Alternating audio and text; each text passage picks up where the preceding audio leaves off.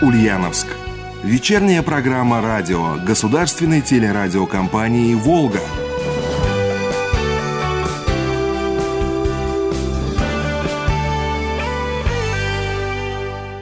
Здравствуйте! У микрофона Алексей Сорокин.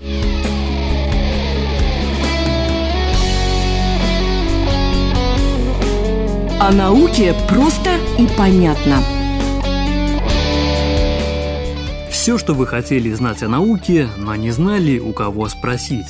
Мы расскажем вам о самых интересных научных исследованиях и достижениях.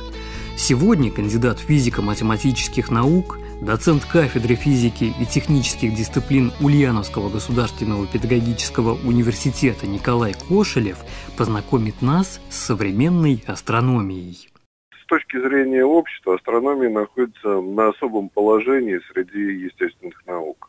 Прежде всего из-за того, что она оказывает очень сильное влияние на культуру общества и на мировоззрение людей.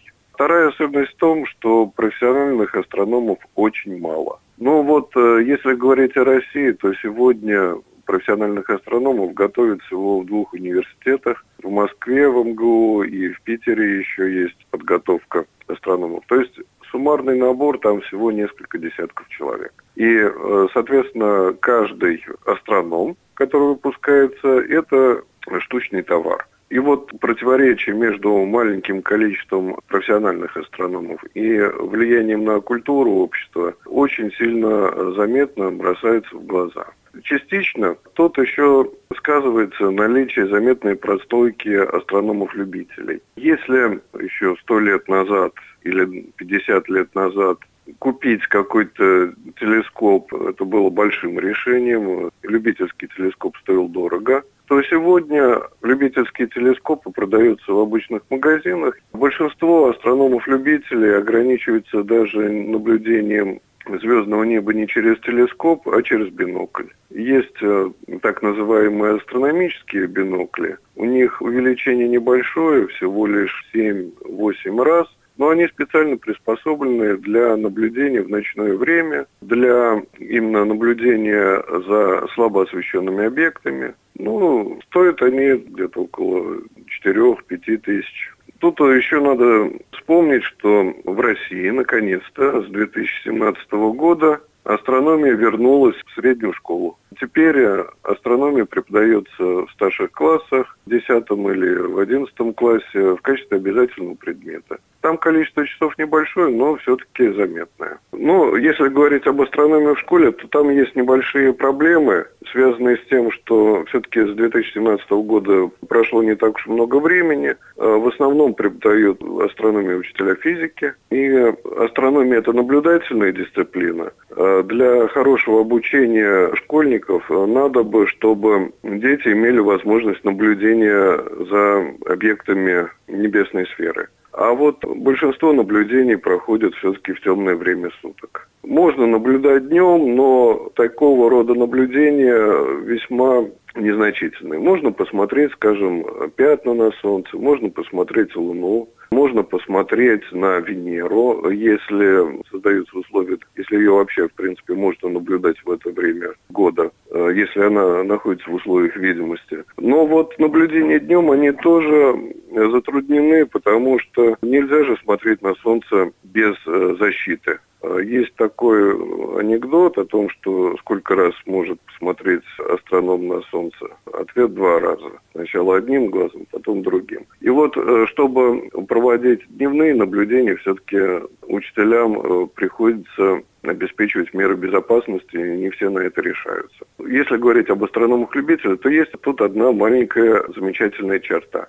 Астрономия в современном виде существует чуть более там, 400 лет – с тех пор, как Галилей изобрел телескоп. А, так вот, телескоп Галилея имел увеличение всего лишь около шести раз.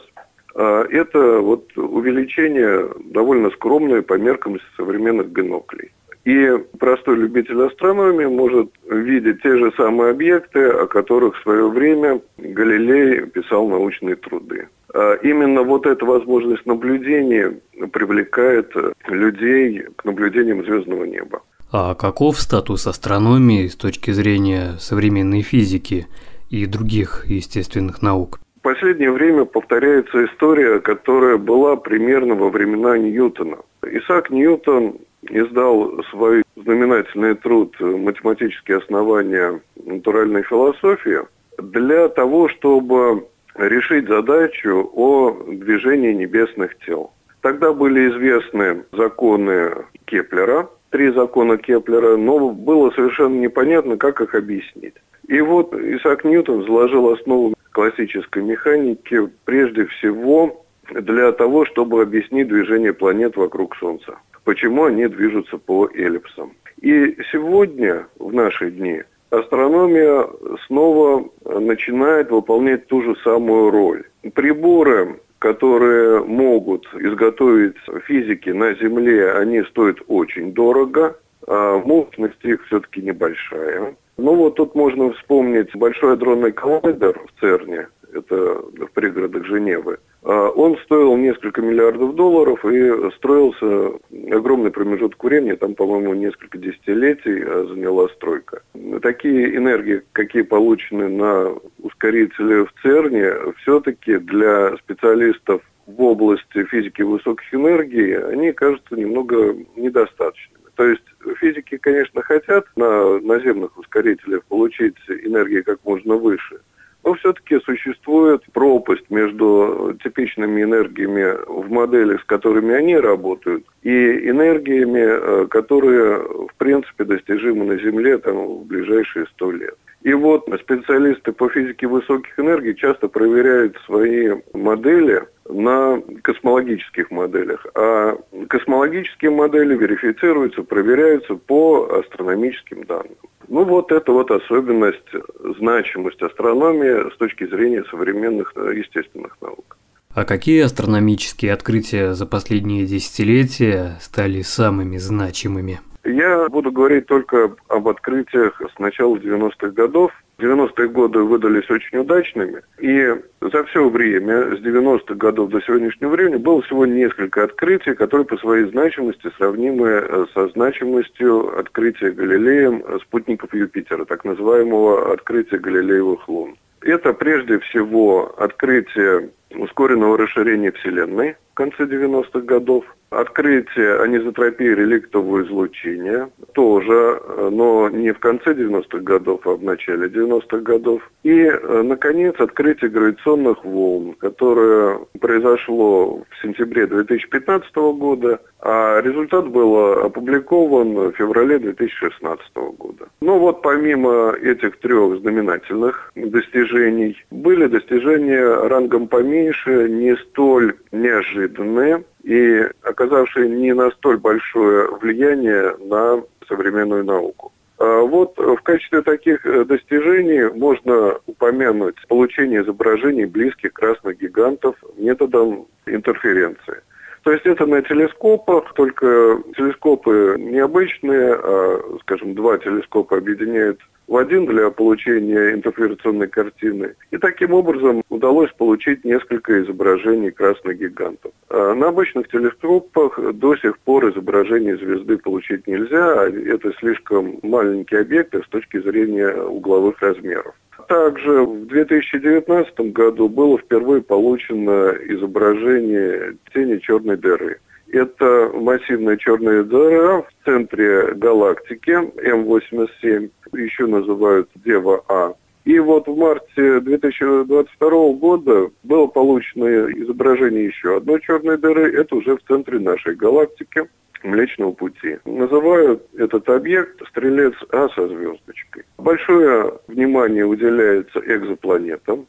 Первая подтвержденная экзопланета была открыта в 90-х годах. А сегодня это огромный такой пласт исследований. Ну и еще хотелось бы сказать об исследованиях внутри Солнечной системы. В основном исследования идут за счет использования космических аппаратов, Тут желательно бы вспомнить посадку спутника «Розетта», которая состоялась в 2014 году на комету Черемова-Герасименко. Ну вот другие успехи, крупные из тех, э, которые я хотел бы сказать. Но каждый год происходят также очень знаменательные события, но, к сожалению, они не столь большие, как, скажем, вот э, три самых первых громких события, такие как открытие анизотропии реликтового излучения, открытие гравитационных волн, открытие ускоренного расширения Вселенной.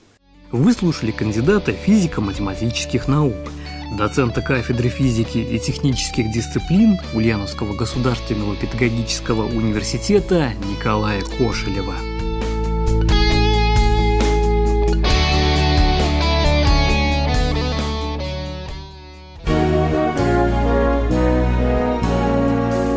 Говорит Ульяновск. Вечерняя программа радио государственной телерадиокомпании «Волга».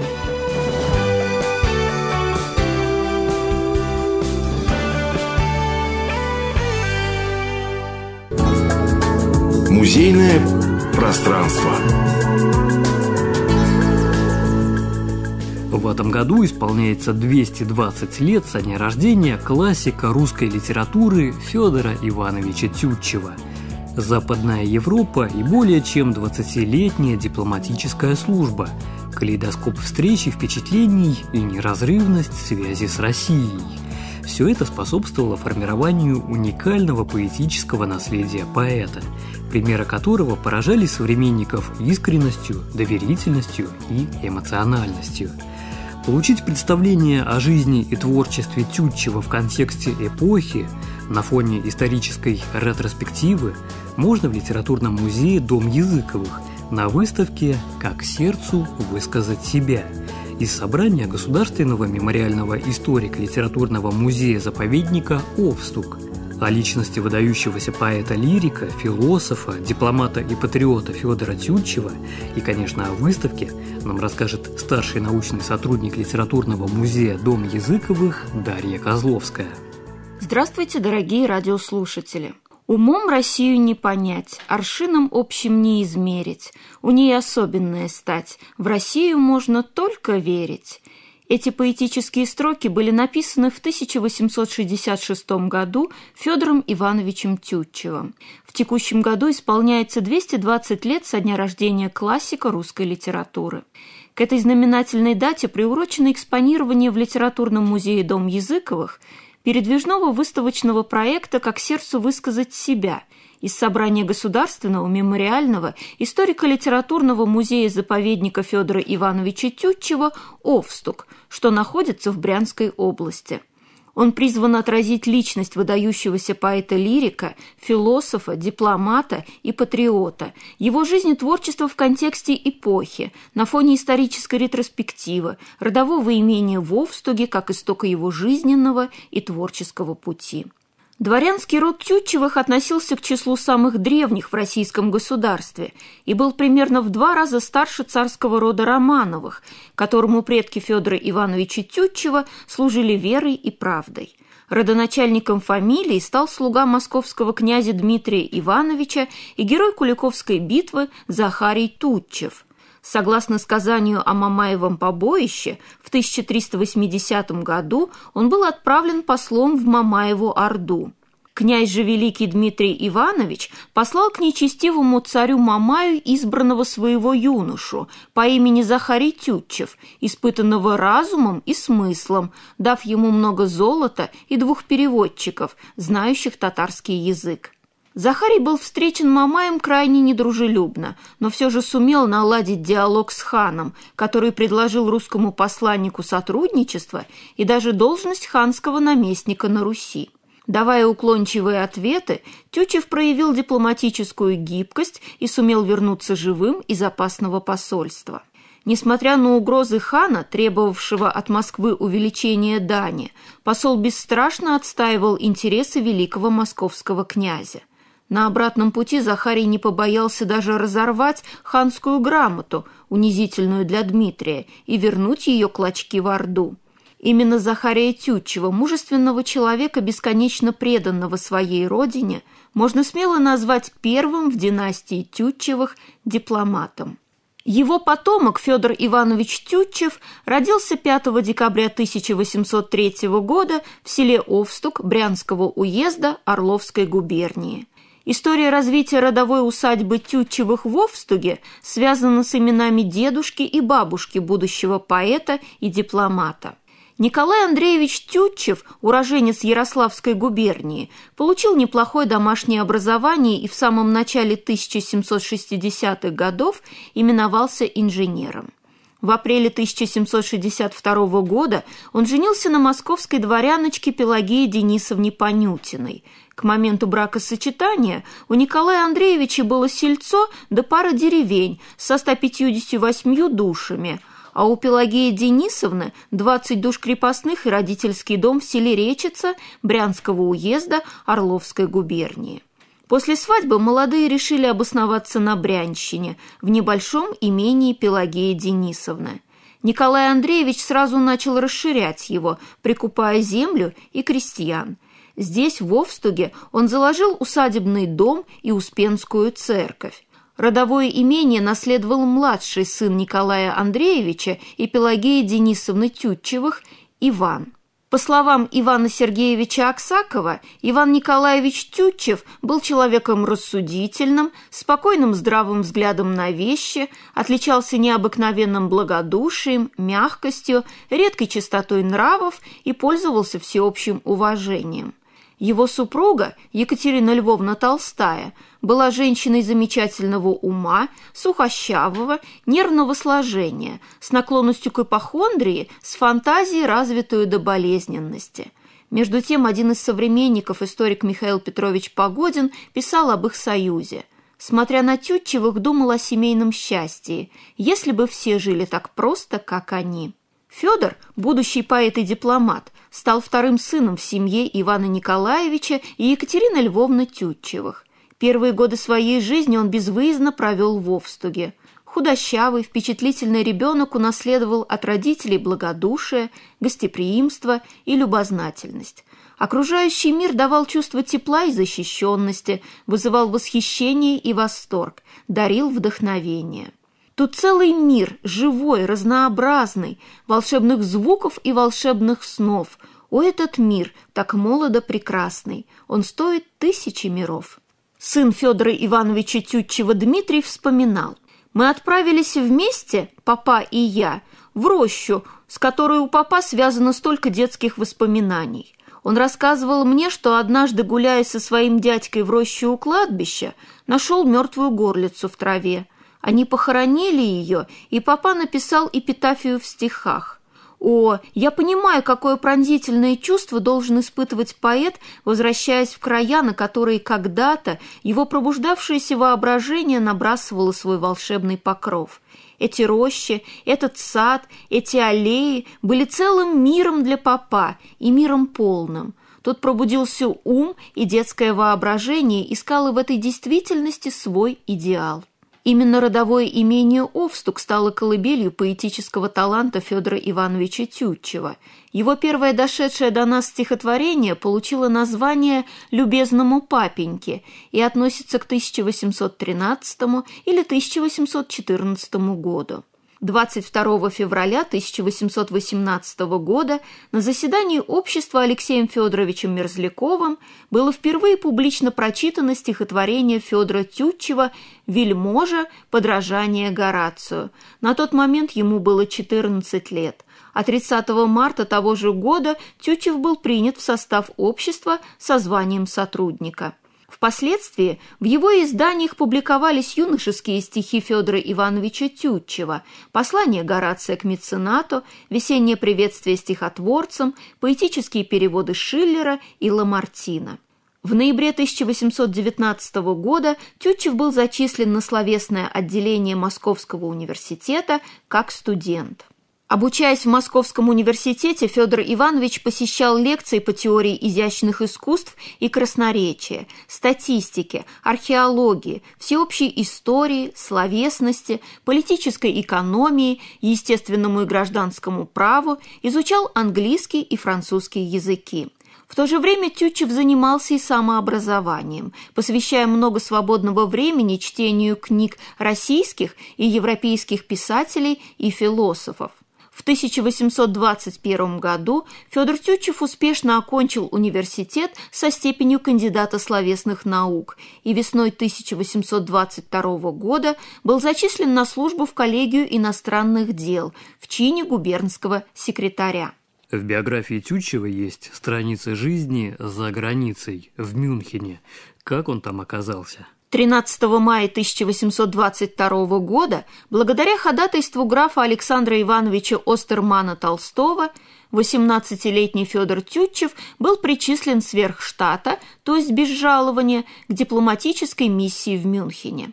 Первую штатную должность, предусматривавшую получение жалования, он получил только в 1828 году, когда был назначен вторым секретарем дипломатической миссии. В столице Баварии Тютчев служил с 1822 по 1837 год в российском дипломатическом представительстве при Баварском королевстве, одном из крупнейших государств Германского союза. Он отмечал, «Ежели и существует страна, где бы я льстил себя надеждой приносить некоторую пользу службой, так это решительно та, в коей я нахожусь».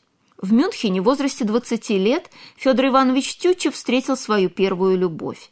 Ей стала представительница старинного и очень богатого рода, графиня Амалия фон Лерхенфельд. Она обладала редкостной и даже уникальной красотой, по мнению современников. Генрих Гейна называл ее божественной Амалией, а баварский король Людвиг I заказал ее портрет для галереи красавиц, которую он собирал в своем дворце. В 1825 году Амалия вышла замуж за российского дипломата барона Александра Крюденера, а в 1855 году, после смерти первого супруга, она вступила во второй брак с генерал-губернатором Таврическим Николаем Владимировичем Адлербергом. Но с Тютчевым Амалия на протяжении полувека поддерживала теплые дружеские отношения – Поэт посвятил ей ряд своих стихотворений. Среди них и шедевр тютчевской лирики, который, вероятно, был создан под влиянием их встречи в 1870 году. «Я встретил вас, и все былое в отжившем сердце ожило. Я вспомнил время золотое, и сердцу стало так тепло. Как поздней осени порою бывают дни, бывает час, когда повеет вдруг весною, и что-то встрепенется в нас» так весь обвеян дуновеньем тех лет душевной полноты с давно забытым упоением смотрю на милые черты. В 1829 году Федор Иванович Тютчев женился на графине Элеоноре Петерсон, урожденной фон Ботмер.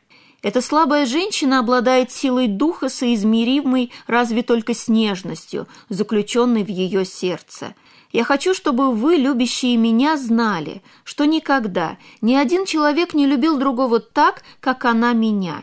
Не было ни одного дня в ее жизни, когда ради моего благополучия она не согласилась бы, не колеблясь ни мгновения, умереть за меня. Так он писал о своей жене.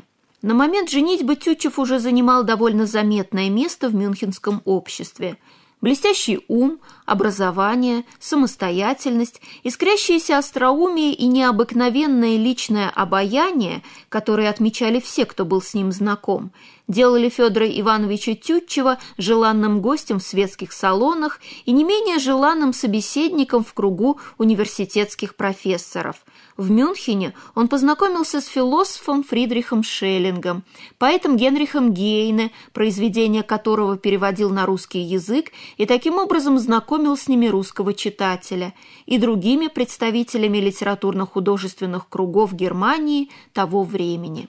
В этом мире Тютчев был вполне на месте и встречал радушный прием. Он вносил в гостиные свой пылкий ум, ум, скрывавшийся под небрежной внешностью, который, казалось, прорывался помимо его воли ослепительными остротами. Его находили оригинальным, остроумным, занимательным. Так о поэте писал Иван Сергеевич Гагарин. За 12 лет брака Федор Иванович и Элеонора Тютчева стали родителями трех дочерей – Анны, Дарьи и Екатерины. В 1838 году супруга поэта умерла. Ее кончина стала тяжелым потрясением для Тютчева. Я считал ее настолько необходимой для моего существования, что жить без нее мне казалось невозможным, все равно как жить без головы на плечах. Памяти безвременно ушедшей из жизни жены Федор Иванович Тютчев посвятил стихотворение «Еще томлюсь тоской желаний», написанное в 1848 году. «Еще томлюсь тоской желаний, еще стремлюсь к тебе душой, и в сумраке воспоминаний еще ловлю я образ твой». Твой милый образ, незабвенный, Он предо мной везде, всегда, Недостижимый, неизменный, Как ночью на небе звезда. В 1839 году Тютчев снова женился. Его второй женой стала баронесса Эрнестина Дернберг, урожденная фон Пфеффель. Поэт познакомился с ней в начале 1833 года, и к моменту бракосочетания их связывали близкие отношения уже в течение нескольких лет. В это время, с 1837 года, Федор Иванович Тютчев служил с дипломатической миссией в Сардинском королевстве в Турине, но в октябре 1839 года он был отозван с должности старшего секретаря миссии – как частное лицо он поселился с семьей в Мюнхене, где они прожили с небольшими перерывами вплоть до 1844 года. Своей второй супруге, подарившей ему дочь Марию и сыновей Дмитрия и Ивана, Федор Тютчев посвятил стихотворение «Люблю глаза твои, мой друг, не знаю я, коснется ли благодать, все отнял у меня казнящий Бог» и многие другие. Люблю глаза твои, мой друг, с игрой их пламенно-чудесной, когда их приподымешь вдруг и словно молнией небесной окинешь бегло целый круг. В 1844 году Тютчев вместе с семьей вернулся в Россию и на государственную службу в Министерство иностранных дел. Цензор при особой канцелярии, старший цензор, председатель комитета цензуры иностранной – таковы ступени его карьеры.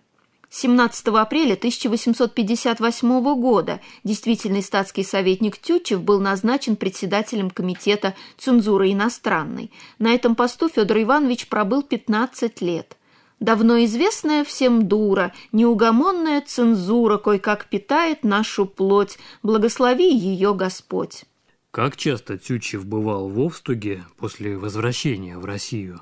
За период с 1846 по 1871 год он 12 раз побывал в своем родовом имении.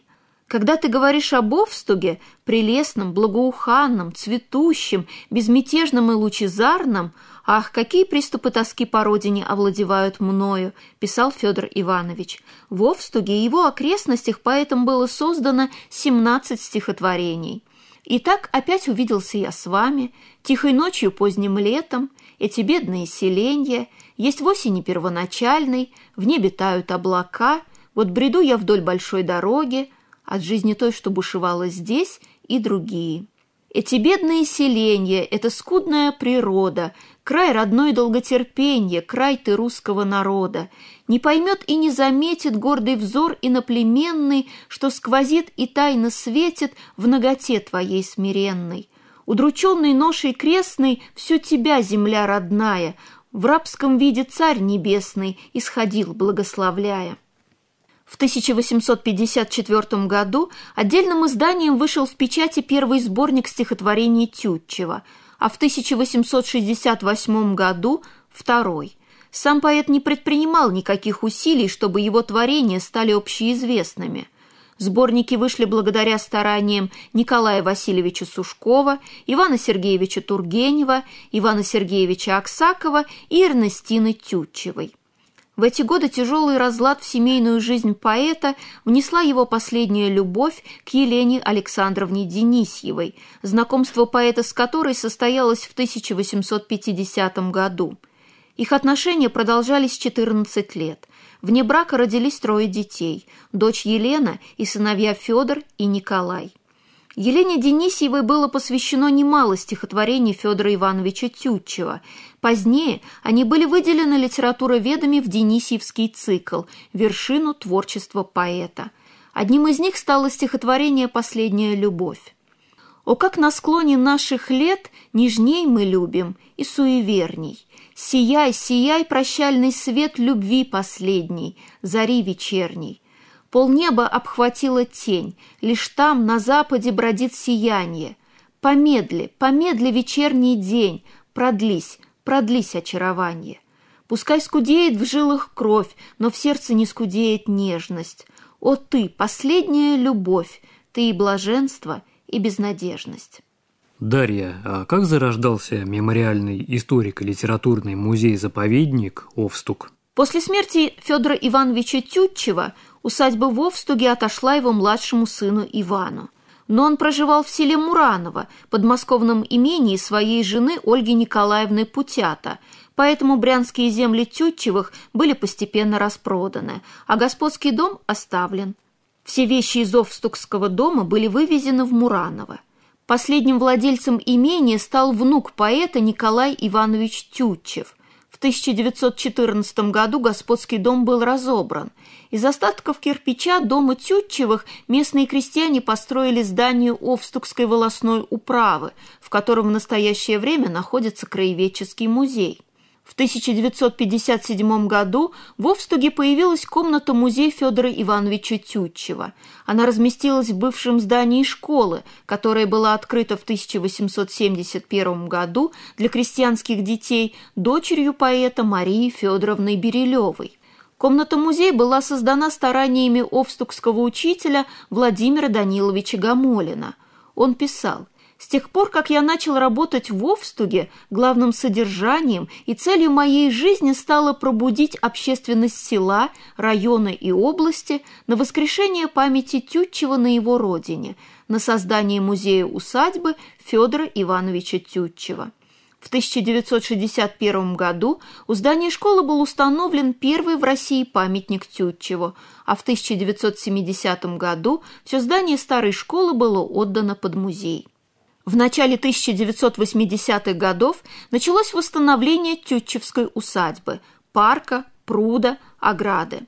К 1986 году по проекту архитектора Василия Николаевича Городкова был восстановлен усадебный дом, вместивший новую экспозицию музея. Законченный вид усадьба приобрела уже в 2003 году, когда на Брянщине и по всей России отмечался 200-летний юбилей Федора Ивановича Тютчева. Была восстановлена Успенская церковь, разрушенная в годы Великой Отечественной войны, отстроен заново гостевой флигель. Созданный в 2003 году мемориальный историко-литературный музей-заповедник Федора Ивановича Тютчева «Овстук» стал одним из двух музеев в России, посвященных поэту. В комплекс современного музея-заповедника входит парк площадью 6,5 гектаров, усадебный дом с постоянной экспозицией, флигель, школа Марии Федоровны Берилевой, краеведческий музей села, расположенный в здании волосной управы начала XX века, и даже две мельницы – ветряная и водяная. Музей-заповедник ежегодно принимает до 180 тысяч посетителей со всех уголков России, из ближнего и дальнего зарубежья. Благодаря выставке «Как сердцу высказать себя», действующей в настоящее время в Литературном музее Дом Языковых, и жители Ульяновской и Ульяновской области могут прикоснуться к творческому наследию Федора Ивановича Тютчева, узнать, какие события жизни вдохновили поэта на создание лирических шедевров. Приглашаем всех желающих посетить выставку. Она будет работать до 31 марта текущего года. Напоминаем, что мы беседовали со старшим научным сотрудником литературного музея «Дом Языковых» Дарьей Козловской. Вечернюю программу для вас подготовил Алексей Сорокин.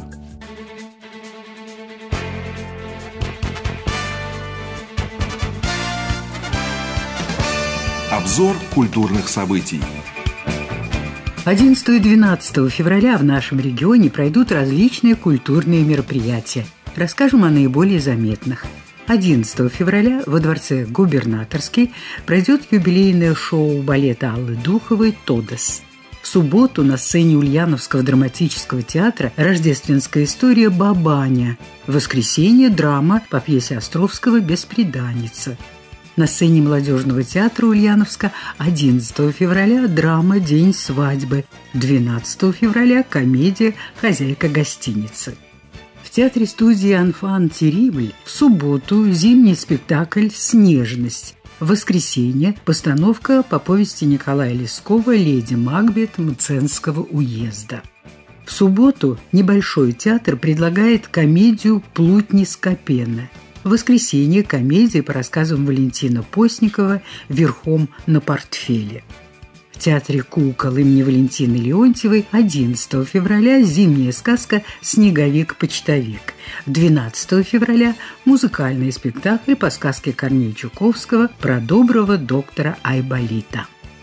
В Центре татарской культуры 11 февраля открывается восьмой открытый областной фестиваль татарских народных и самодеятельных театральных коллективов имени Бари Тарханова – в воскресенье в концертном зале Дворца творчества детей и молодежи симфонический оркестр «Губернаторский» и скрипач Гайк Казазян представят музыкальную программу «Всероссийские филармонические сезоны». В Димитровграде в субботу на сцене драматического театра имени Островского мистическая история по повести Александра Пушкина «Пиковая дама». В воскресенье музыкальная сказка «Илья Муровец против Змея Горыныча». В субботу в научно-культурном центре Славского симфонический оркестр «Губернаторский» и скрипач Гайк Казазян представят музыкальную программу «Всероссийские филармонические сезоны». В Димитровградском театре «Кукол» в субботу спектакль «Маша и медведи». В воскресенье театр юных зрителей приглашает на «Северную сказку».